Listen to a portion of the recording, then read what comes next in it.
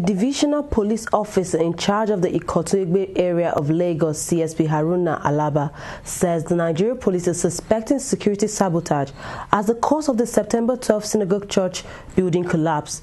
Giving testimony before the coroner magistrate O.A. Komolafe on Thursday, Alaba said the peculiar manner in which the six-story building collapsed has raised, among other reasons, more security reasons. The police chief superintendent told the coroner that the state criminal investigation department Department Yaba had already begun investigations, adding that a DSP named Olushola Agoyi was the officer assigned to the job.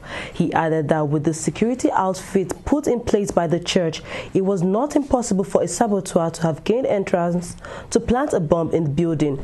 His statement comes a day after the coroner investigating the cause of the collapse of the building summoned the owner of the build, uh, summoned the owner of the church, Pastor T.B. Joshua, to come in front of the coroner and warned that he could take drastic decisions or measures to compel the founder of the church to appear before the inquest to testify.